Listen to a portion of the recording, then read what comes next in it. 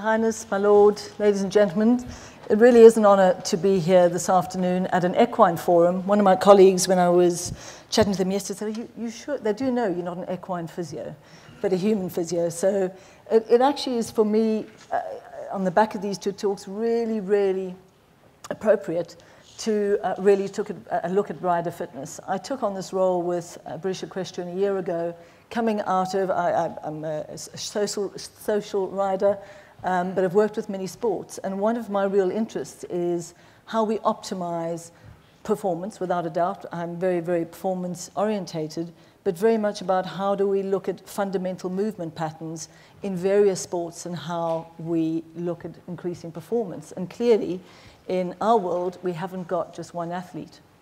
And in fact, if, if I have a pound for every time someone says, well, why are you bothering with the riders when it's all about the horse, is still absolutely fundamentally a belief in, in some quarters, which to me is really, really surprising. And what I want to discuss with you this afternoon is take you on a little bit of a journey of the last year of what we're trying to do to really challenge the thought as to what does rider fitness mean. Um, I don't find a lot of evidence where it is based on what impact does that rider fitness have on the horses, and most importantly, what does it have on performance.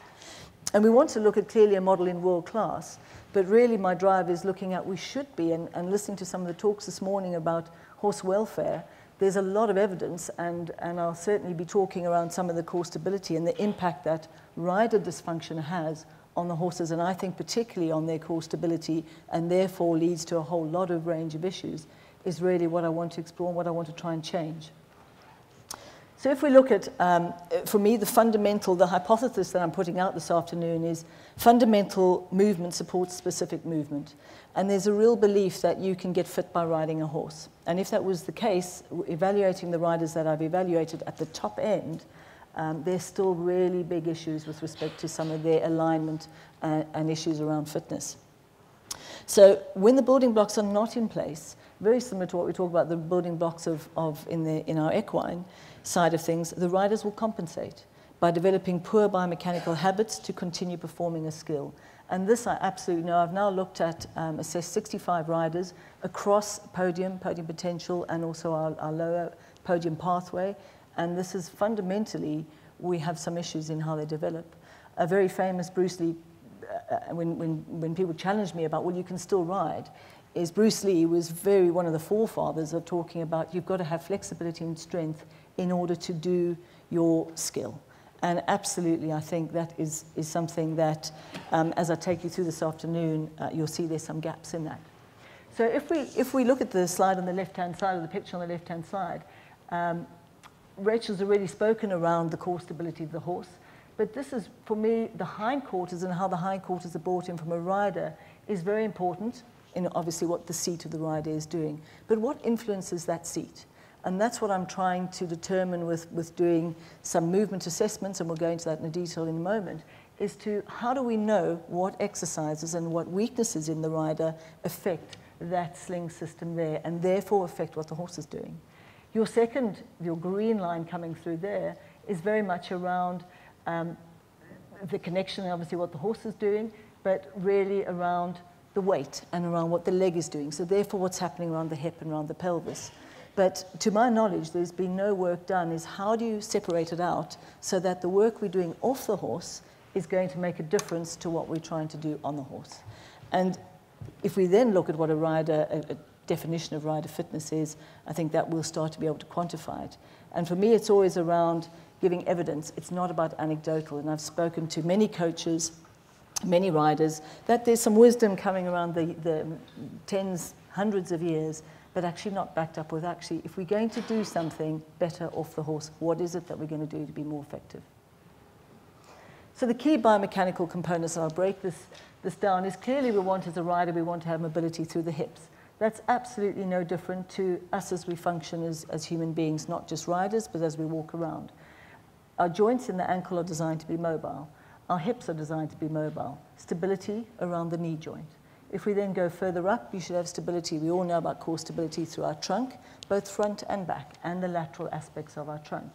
The thoracic spine needs to be mobile. Very, very similar to what we, need, what we see in a horse. And then again, when we go up here, we need more stability around the cervical spine. and that relates very nicely. So when I'm starting to do movement profiles with, horse, with horses, with riders, off the horses, we need to bear both of these in mind and how they impact on the horse. And the really interesting thing, if we look at the riders that I've screened to date, is most of them have very, very, very stiff thoracic spines. They have, surprisingly, I thought I'd find more stiffness through the hips, but actually not. But what we're finding is if you transfer this mobility area to something that's becoming rigid, that becomes a massive driver in how you transfer load through the saddle. And our aids to the seat, as we know, whether you're a show jumper, whether you're dressage, whether you're a three-day eventer, para dressage is absolutely paramount. And what we're trying to do is really line it up to, again, how that impacts on the horse's function. So if we look about here in a, in a show jumper, stiffness through these areas here, as I've said, absolutely crucial that we need to address that. Speaking to David earlier, we've done an injury and illness audit of riders, and there's a huge increase in knee issues. And I think the reason for that, if, if I look about the 60 odd riders that I've screened, is because they lack mobility through the ankle. So what happens is you need to get more shearing through the knee in order to compensate for a lack of mobility lower down. And for the sake of today, really what I want to focus on is the rider fitness with respect to balance, so alignment, how they set up, strength and mobility.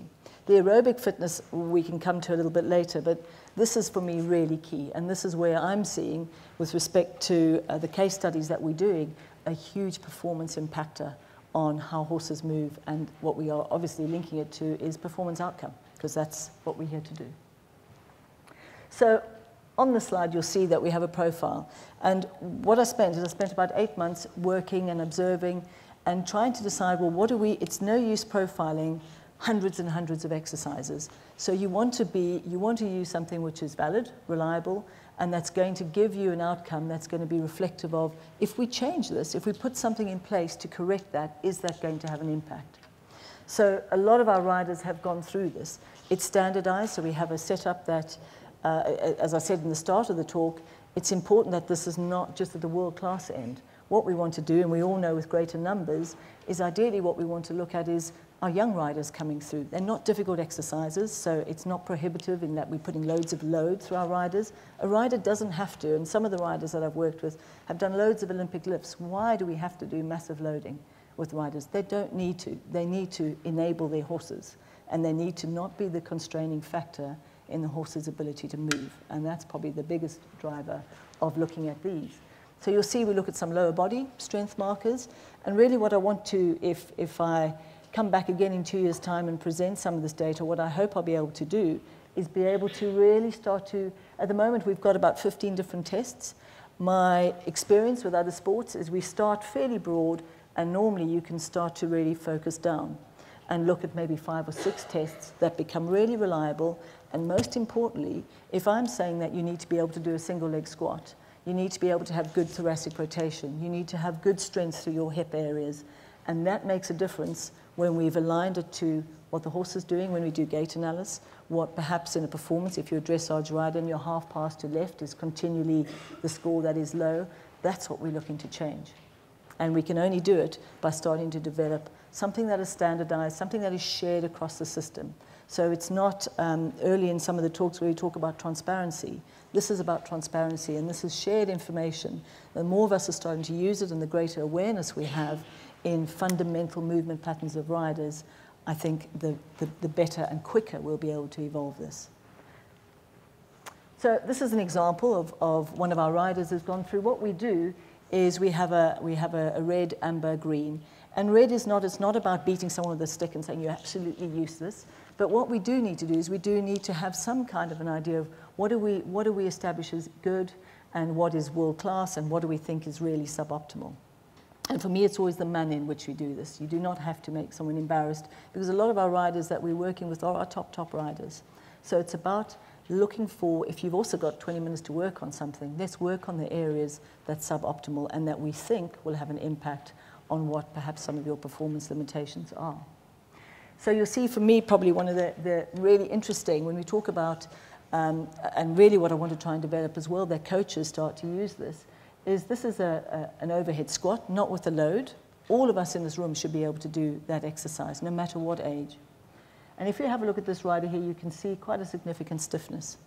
And if you consider that's without load, that's without any, any activity at all, but yet that's having quite a significant impact on the ability to do this movement. So what's happening when you do repeated movements on a horse?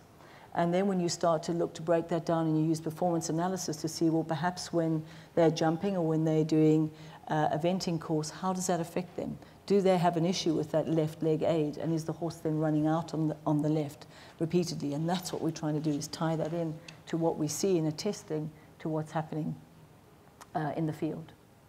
And by collecting this and having some kind of a standardized marker. It was really interesting when we first did it, and we started with, with, with a load, so a technical level of, of riders that perhaps weren't that good or developing. And it is interesting, and our podium riders, and one of the, uh, Your we were talking about it earlier, about um, the biggest concern I have is because the riding schools are less, and because we have less licensing, and I think that the standard of riding coming through is much lower. And you have uh, coaches who don't have the same skills. So what I've seen really interestingly is our older riders, our riders who've gone through a system and have sustained that level, that high, high level of performance, are showing really good scores as opposed to some of our younger riders. And that's not a case, I mean, some of these young riders, we talk about 20, 21, so they're not kids.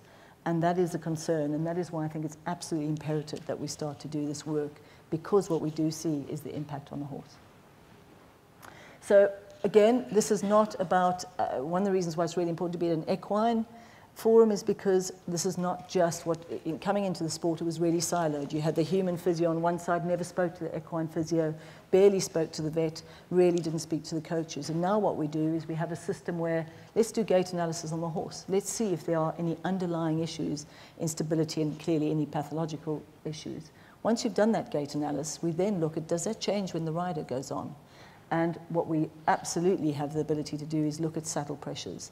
Now that's new science that's out there, and really importantly, that we don't jump to conclusions. And that's why it's important to keep collecting the data in a longitudinal way. And we keep coming back, and now as a team, we'll have the riders come in, we'll look at over here, what the judge, what a technical aspect is, where their low scores, what do we pick up as an equine physio, as a human physio, as vets and as coaches. And this is becoming really, really meaningful because it is performance-focused problem solving, which hopefully will help to then inform riders coming through in the bigger picture. So a really nice example, if you have a look here, this is positional analysis, um, and we very quickly get to, is it the horse, is it the saddle, is it the rider? And in this particular case, you can see what's happening with the side bend. If you then start looking at some tests, that, for you who don't know, is a, is a single leg squat, and it should be really aligned. You should have no drifting of the knee in and you should be able to go to 90 degrees. And you can see that rider has very poor control. And if we have a look in the test that we did for their lateral abdominals, their stability muscles, like we look at horses, were very poor. And what we then do is, if our theory is right, and that's what we're in the, in the early stages of doing, is a bespoke intervention strategy. We've cleared the horse, and we know that what, what the horse is, is able to function is good, but we know the rider is definitely impacting because of where that horse inhibits through the multifidus and through some of those muscles that Rachel's spoken to you this afternoon. And by putting something in place, we then go back, remonitor. And what we want to see is, are the physios saying, well, that horse is less sore behind the saddle. That horse is moving better. That horse is able to cope more with the workload, as David's spoken about. So it's about insight. It's about getting ideas as a team, intervention, and most importantly, what has the impact been of that intervention? And we have to close that loop in order to really make clear decisions about is this actually going to be something? Uh, you know, I, I, might look at it and think, well, actually, that was the wrong test to do. I'm hoping not, but the clear early indications show us that we're on the right track with what we're doing as an intervention. I'll very quickly touch on this around breathing. And remember that first slide I showed you when we were talking about the alignment of getting the horse's rear quarters and, and the rear end working? Really important is I do a lot of focus on breathing. And out of 60 riders, 48 of them had got dysfunctional breathing. And what I mean by that is not pathological, it's because of rigidity through the thoracic spine. And if you are tight to your breathing, that will absolutely impact on what you're trying to do with a horse. Very quickly, these are the key strength components that I think riders need and what have been probably the biggest limiters to date in the work that we've done. And if we very quickly go on to an area which is uh, very dear to my heart, which is about weight. There's been some good studies around rider weight and the load, and that, of course, in, as we know, 75% of our horses that are not affiliated to any organization. And how do we get this information that the, the heavier the riders, there's good studies that have been done around the same rider taking extra 10 pounds, 20 pounds, 40 pounds. The impact on the horse has been absolutely phenomenal with respect to their suspension phase, which is much shorter, and their standing phase, which is much longer. And that makes absolutely complete sense to me. And if you're talking about that in a performance point of view, what impact does that have when you're going over huge, huge obstacles?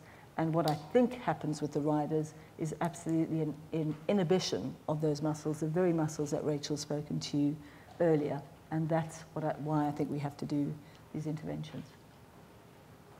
Uh, part of the interventions is very much around specific, and what we've developed for each discipline is actually these are specific areas you need to work. Slightly different, but actually if we look at rider fitness specific to each and every discipline, I think that will be impactful.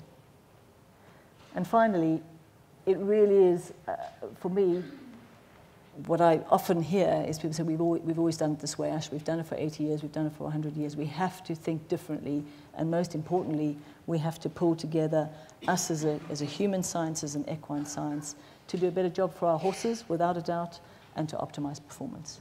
Thank you very much.